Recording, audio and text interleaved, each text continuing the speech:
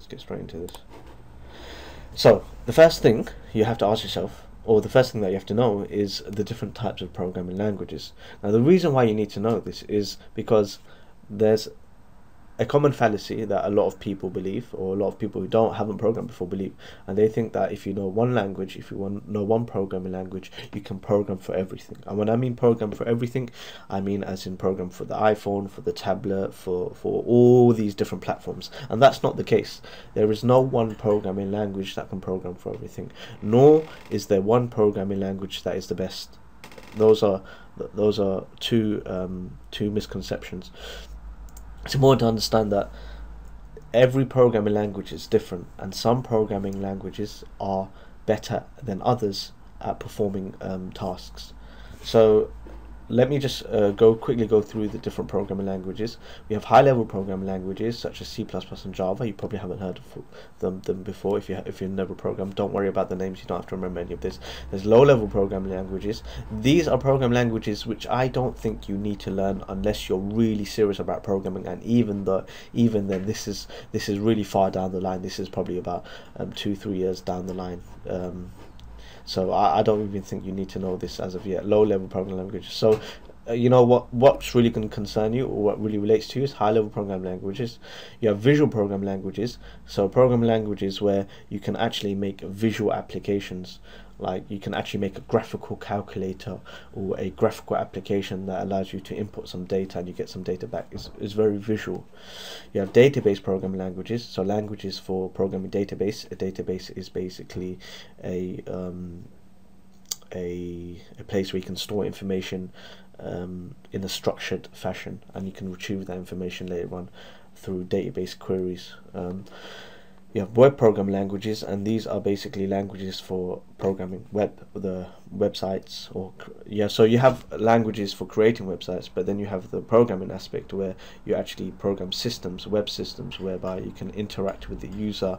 And this really links in with database programming. Say you have a, a website so let's get an example like amazon. Amazon has um, when you visit amazon.com or .co.uk in your browser you you have the front where you have the search and you have you know all the products and stuff on the front page. Now that's a web programming aspect uh, or that's a language aspect. That web page is built using a language um, HTML and elements of JavaScript etc but uh, what you have to understand is when you search Amazon has a database full of all of their products, full of all of their users, all sorts of details, and you have to get that um, you have to get the front end that's what I'm going to call this the web programming the front end from what you see when you visit amazon.co.uk to interact with the back end. The back end is basically the database. You have to get them to to link together. And that's the reason why these two are interlinked web programming and database programming um, I must admit I found these um, when I was learning these, there was um, I haven't learned them all obviously. No one learns every programming language, but I've learned a lot of web programming, database programming, and I must admit it's really fun once you get into it. It's nice being able to create websites, style them, make them look good, um, make them actually do things. That that comes when you actually um, create a database, do some database programming. It's, it's really it's really enjoyable. You really see results straight away, so that's quite fun. Anyways, you also have mobile development. Mobile development is when you make applications for either the Windows Phone, the iPhone, Android devices, etc., etc. And then you have scripting languages. And these are um, to so to best explain this, if you've ever used Microsoft Word or Excel before, sometimes you want them to do some thing like some functions, or you want them to perform some tasks, but to for for them to do that, you need to be able to either do it manually so you have to look for the controls in Microsoft Word. So if you want to change the um, the, the size of some text you would highlight it and then you change the size. But if you want to do some things that are more complicated than that and automate them then you can use what's known as scripting. Now um, many of these applications like Microsoft Word offer a scripting language and this allows you to write code within Microsoft Word and then um, run that code. So for example um, say I wanted to run a piece of code that checks checks um, all of the headings on my web on my Word document and formats them correctly or something along those lines. Um, I would do that using scripting by writing a few lines of code within Microsoft Word provided um, by Microsoft Word and the the scripting language used by Microsoft Word is Visual Basic for applications, but obviously um, other applications might have their own scripting languages, so um, that's another thing you need to bear in mind. So uh, those are the general list of program lang languages slash program languages. Okay, so these are my thoughts, and this is what I think you should start with. You should start with HTML. HTML is used to create web pages. It's really the the backbone. Once you learn HTML, you can build simple websites. But the reason why I said to learn that first is because that sorry, it's because that once you you get that general feel and understanding of writing code of running that code of finding errors in your code you, you'll get that general feeling and understanding at a really simple level with HTML and you really need that flavor. HTML will give you that flavor. It's fairly easy. It's really it's it's easy to pick up. Um, you can apply it straight away. You can see results straight away. You can it's it's a really easy language and it will really give you that feeling and understand that you need. Once you've learned HTML you can learn JavaScript. The reason why I say to learn JavaScript is because I have another slide here. HTML really links in with JavaScript um, in that JavaScript allows you to be dynamic. So say for example you visit a website you see a pop-up that comes up hello welcome to my website or something like that something along those lines. JavaScript was used to do that. Uh, most often it's JavaScript that's used to do that. Um, JavaScript is used by some of the um, many many websites that we have out there. So I found this image on Google um, Wikipedia actually and it lists all the most famous websites that we have today. So Google Facebook YouTube Yahoo Live. And remember what I said about the front end. When you visit the website what you see um, they use HTML of course, but they also use, as you can see, JavaScript, JavaScript, JavaScript, JavaScript. JavaScript is used by these the biggest websites that we have today. So it's uh, JavaScript will really.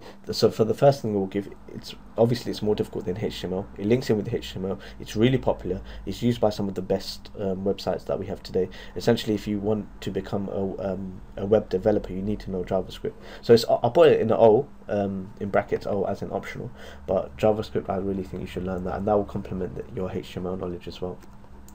The next language that I think you should learn is Perl or Python. These are languages that are much more detailed that allow you to create real applications.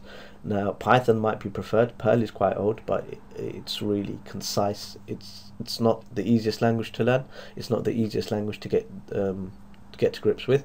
Python is so as a beginner. Um, if you want to take, if you want to, you know, don't if you don't want to get um, go too hard straight away after learning JavaScript, then Python's the best place to go. Python's really emphasized on simplicity and readability, so it's a really again it's it's an easy language to pick up. There's so much documentation around it. It's becoming more and more popular for beginners to learn, and there's plenty and plenty of resources online for Python, especially on YouTube. So Python would be the next language. A Perl or Python is up to you. Um, then PHP. Now PHP is a web programming language. So remember when I said when you make websites using HTML and JavaScript, PHP allows you to be even more interactive because it allows you to connect to the database, uh, databases and uh, do some cool stuff with databases. It allows you to do some um, other cool things. Um, it's really for web programming and creating systems, uh, web systems that run online. Um, obviously, we know that Facebook uses PHP, Amazon also uses PHP, and there's many other um, shopping websites, especially e-commerce. E-commerce is online shopping. A lot of these websites definitely, most likely use PHP. Then we have um, that. That again is optional, but I must admit it's really fun, so I'd recommend it. And then I'd say move on to the high-level programming languages such as Java, C++, C, C Sharp. Um, you, you can interchange the order for these. I'd recommend to do Java first because it's the easiest out of these four, in my opinion. Java is basically it, it well, it's an programming language that allows you to create desktop applications, applications that run on multiple devices. Java is used to create Android applications. Java is used, as I said, to create desktop applications and other um, enterprise server applications as well. Java is really easy to pick up, but um, it's a really fun language when, as you start learning it. C++ is similar to Java, it's a bit more harder. C++ is really used for game programming, but also it's used to create visual applications just as Java. Um, C is really low level, so C is it's it really C is one of the languages where you understand how a computer works, and uh, so with these languages here, you don't really get a flavor for what's inside the computer, what the CPU is doing, what memory is doing, etc. etc. C will give you that flavor because it's really low level. You're really interacting directly with the memory, so it's a bit harder, obviously, but um, it's a good language to learn. This is later on down the line, much later on down the line, and then the C sharp. C sharp is becoming more and more popular today to create, again, to create applications just as you would in Java and C++.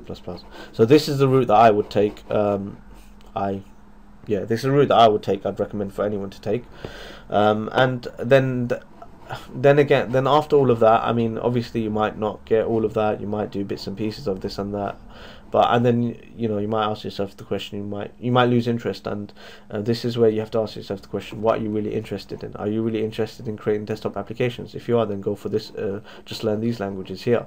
Learn one of these uh, the easy languages and then move straight onto these ones. If you're only interested in web development then learn HTML JavaScript do some PHP bit of Python. You, you do those languages here. If you're into scripting scripting is really limited then you would just learn some Visual Basic. Um, I haven't put that there because Visual Basic is so e is ridiculously easily uh, easy, um, and I don't think it's really good for your programming career, in my opinion, anyway. And a lot of people might shout at me. A lot of people, especially programmers, Visual Basic programmers, might be shouting at me at the screen right now, but uh, that's the truth from my experience. Mobile development mobile development is um, iPhone, Android, Windows Phone. Um, this is becoming uh, more and more popular, um, especially mobile applications. Um, so if you want to learn mobile development, I haven't got listed here, but Objective C um, is used for iPhone, and Java here is used for um, Android devices. And then we have C Sharp here, which is used for Windows Phone. Now, the one thing is you can't learn them all and um, I'd recommend that before you start any of this stuff here any of these languages you go to my beginning programming tutorial series. I've had a lot of good feedback on this series. It's about 8 9 10 videos some, somewhere around there about 30 minutes. Um, Mac, uh, it will total up to 30 minutes. And in that I, I go over all of the basic concepts behind programming that you really need to understand before you even start writing any code yeah um, so as I said it's got a lot of attention a lot of good feedback and I'd really recommend that you go there first.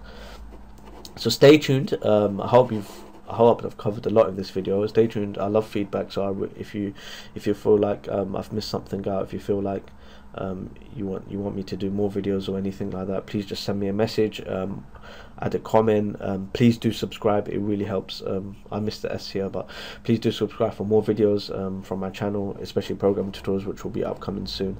Um, two S's there accident. But yeah yeah I look forward to hearing from you. And I'm just going to end on this last slide which I've got here. This is based on 2013 I got this from codeeval.com and this shows the most popular coding language of 2013 and as you can see python is the most popular. Um, it's becoming more and more popular because it's because it's because of its simplicity and readability it's really appealing for new programmers. Then we have java. Java's just portable. You can run java on all sorts of devices. And so that th this really doesn't surprise me but it just gives you a flavor of what's really popular and what's being used. Okay so i'm going to leave it there. Um, thanks for watching and bye bye